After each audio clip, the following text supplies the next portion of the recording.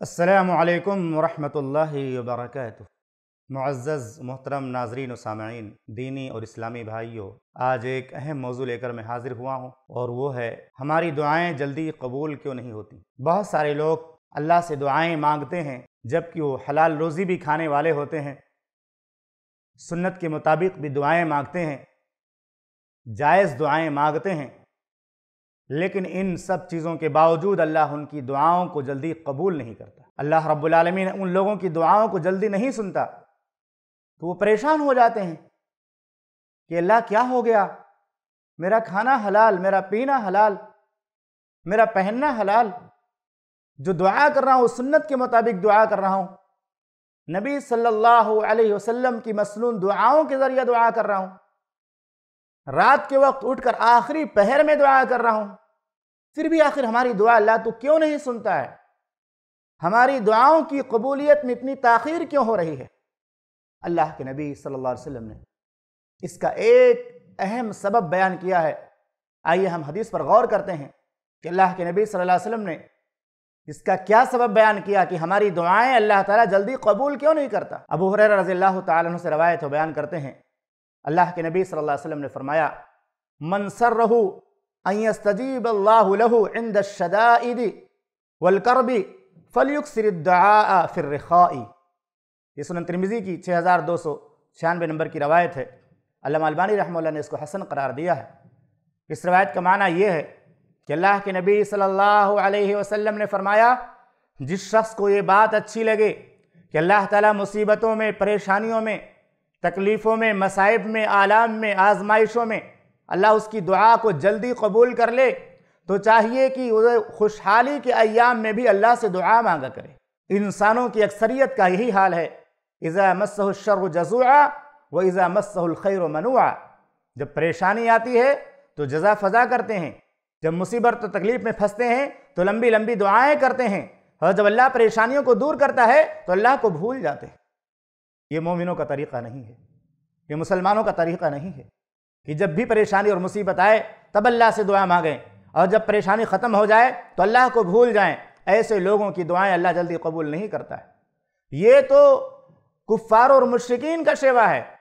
फ़ईदा रकबू फ़िलफुल की दाउल्लाह मुखलिसिन अलहुद्दीन अल्लाह रब्बुल ने फरमाया कि जो मुशरक लोग होते हैं, जो शिरक करने वाले और कुफ्र करने वाले लोग होते हैं, जो अल्लाह के मुनकर लोग होते हैं, वो अल्लाह को उस वक्त पुकारते हैं जब उनकी कश्तियाँ समंदर के मौजों में फंस जाती हैं, मौजों के अंदर उनकी कश्तियाँ फंस करके डूबने लगती हैं, तब अल्लाह से दुआ मांगते हैं फ़लम जाहम इलबर इदा हम इश्तिकून और जब अल्लाह ताला उनको खुशकी तक पहुँचा देता है, उनकी कश्तियों को साहिल तक पहुँचा देता है तो दोबारा फिर अल्लाह के साथ शिर करने लगते हैं। तो सिर्फ़ परेशानियों में, मुसीबतों में अल्लाह को पुकारना यह अहले ईमान का सेवा नहीं है।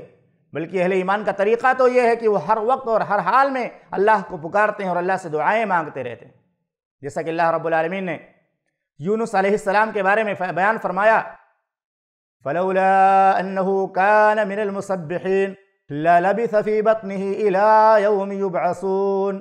अल्लाह ने फरमाया कि अगर यूनुस सलाम इससे पिछली ज़िंदगी में, जिस मुसीबत में गिरफ़्तार हुए, उससे पहले की ज़िंदगी में तस्बीह करने वाले ना होते तो वो क़यामत तक मछली के पेट में रहते। यहाँ दो तरह की बात मौजूद है इस आयत में। पहली बात यह कि उनकी जो पहली ज़िंदगी थी, मछली के पेट में जाने से पहले वाला जो दौर था, उसमें भी अल्लाह की तस्बीह करने वाले थे और मछली के पेट में जब डाले गए, उस वक्त भी अल्लाह की तस्बीह कर रहे थे। ला इलाहा इल्ला अंता इन्नी कुंतु मिनज़्ज़ालिमीन अल्लाह, तेरी ज़ात पाक है, तेरे सिवा कोई माबूद हकीकी नहीं है। बेशक मैं जालिमों में से हूँ। तो इससे पता चलता है कि यूनुस सलाम मछली के पेट में जब डाले गए, उससे पहले भी अल्लाह की तस्बीह कर रहे थे, अल्लाह से दुआएँ मांग रहे थे, और जब मछली के पेट में डाल दिए गए, परेशानी के अंदर मुबतला कर दिए गए, उस वक्त भी अल्लाह ताला से वो दुआएँ करते थे। तो इससे पता चलता है कि हमें खुशहाली और बदहाली दोनों अदवार में, दोनों हालतों में हमें अल्लाह से दुआ मांगते रहना चाहिए।